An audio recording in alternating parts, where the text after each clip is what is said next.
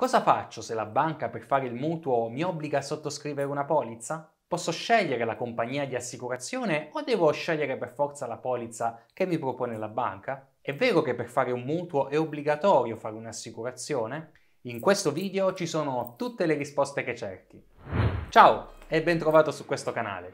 Io sono Giuseppe, sono un bancario con 13 anni di esperienza ed in questo video ti parlo delle polizze di assicurazione che spesso vengono vendute insieme ai mutui e ai finanziamenti.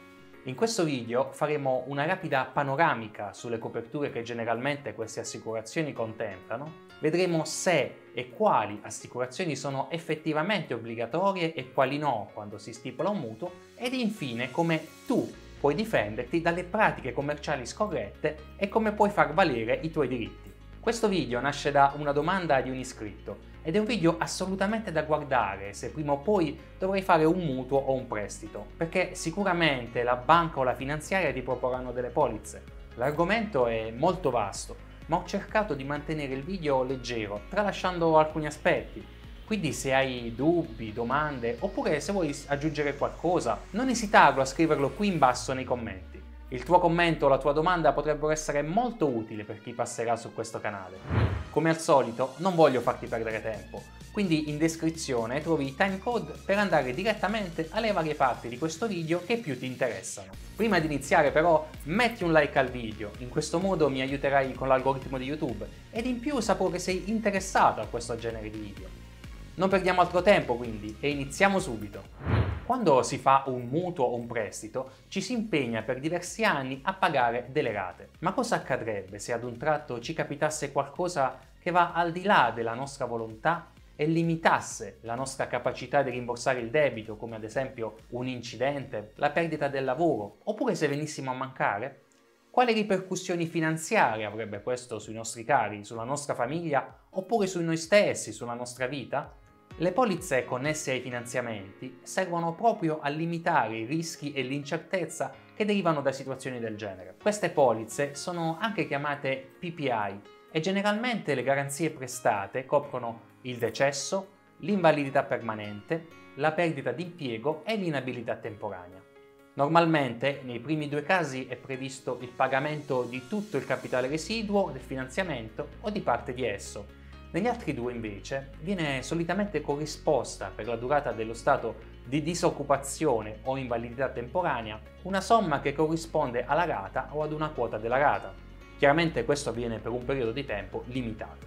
Queste polizze vengono generalmente sottoscritte contestualmente al finanziamento e normalmente il premio dovuto viene finanziato aggiungendolo all'importo richiesto per il mutuo e il prestito, oppure possono anche essere finanziate separatamente con un prestito a parte.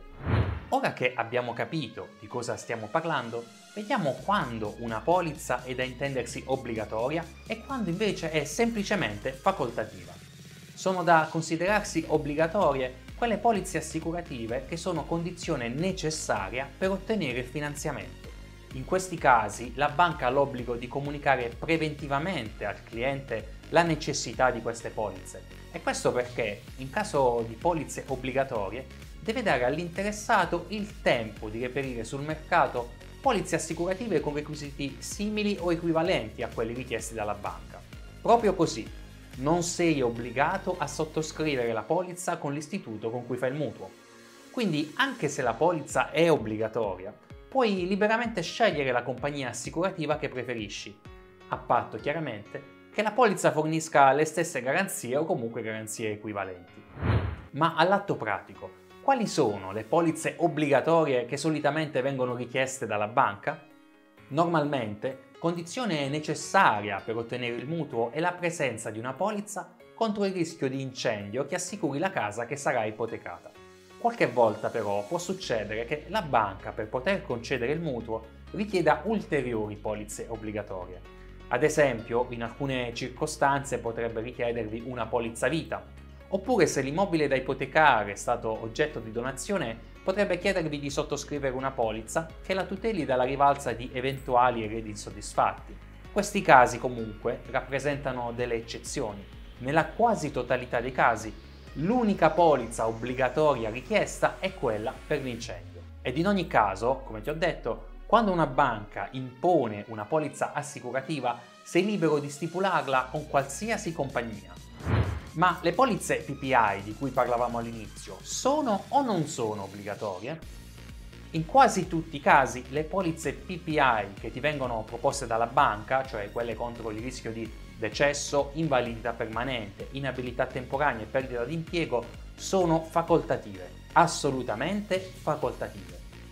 Non solo, questa facoltatività, secondo le previsioni di legge, non deve essere solo formale, ma deve essere sostanziale. Questo significa che sia l'ammissibilità del mutuo e sia le condizioni con le quali questo mutuo sarà stipulato, quindi tasso di interesse, costi di istruttoria e così via, non devono in alcun modo dipendere dalla sottoscrizione o meno della polizza stessa. Ma che fare se la banca ci imponesse come condizione sine qua non per ottenere il mutuo la sottoscrizione della polizza PPI? In effetti il consumatore quando sta trattando per stipulare un mutuo si trova diciamo dalla parte debole del rapporto contrattuale infatti non sa né se e né quando il mutuo gli sarà accordato, essendo il tutto a unilaterale discrezione della banca. Di conseguenza potrebbe sentirsi costretto ad accettare delle polizze facoltative se viene ventilata l'ipotesi che in caso contrario il mutuo non verrà concesso. In circostanze del genere, quando il consumatore viene inopportunamente condizionato a sottoscrivere una polizza assicurativa facoltativa,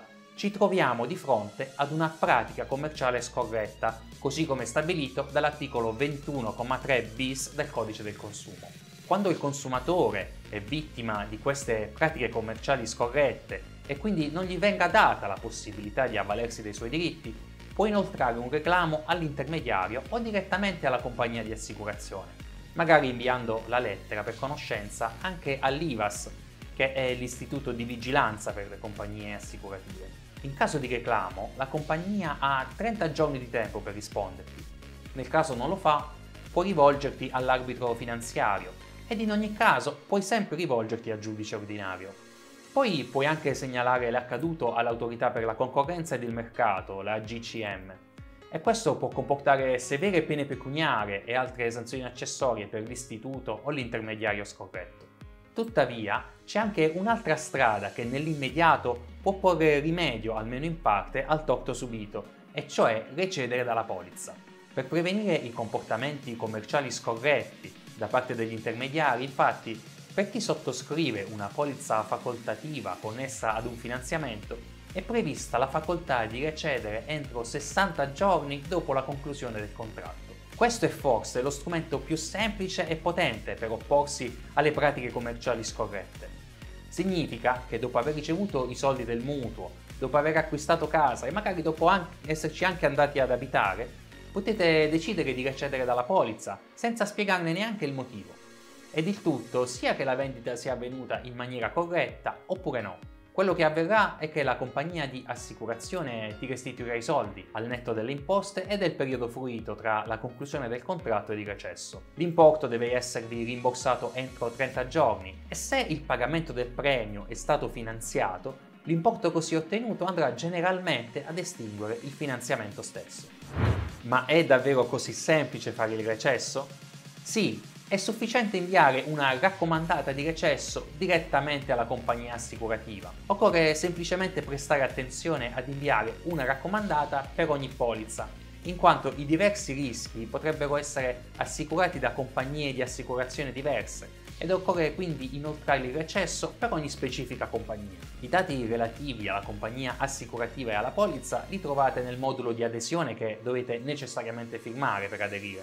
Se non vi è stato consegnato potete chiederne una copia in banca. Per aiutarti in questa procedura, in descrizione trovi un modello che potresti utilizzare come spunto per scrivere la lettera di recesso. Su questo canale trovi altri video che riguardano il tema dei mutui e finanziamenti e i tuoi diritti quando hai a che fare con banche ed assicurazioni ed altri video saranno pubblicati in futuro. Se sei interessato a questo argomento, valuta di iscriverti al canale e fammelo sapere mettendo mi piace a questo video. Adesso che forse ne sai qualcosa in più dei tuoi diritti quando chiedi un mutuo, forse vorrai sapere quanto puoi chiedere di mutuo o come ottenere un mutuo al 100%. Al termine di questo video potrai scegliere quale video guardare. Per oggi è tutto, grazie per la visione ci vediamo al prossimo video.